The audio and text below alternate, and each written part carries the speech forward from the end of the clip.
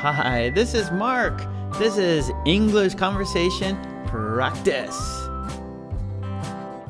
Distinguishing sounds. Numbers. Set 2.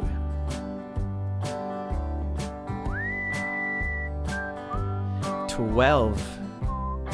Twenty. Thirteen. Thirty. Fourteen. Forty. Fifteen. Fifty.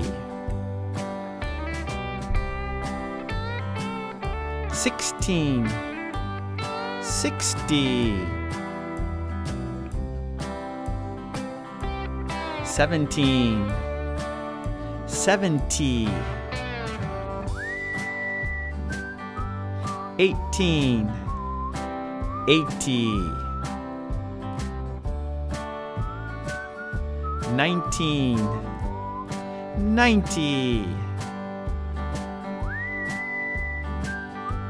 Okay, great job. I'll see you next time. Take it easy.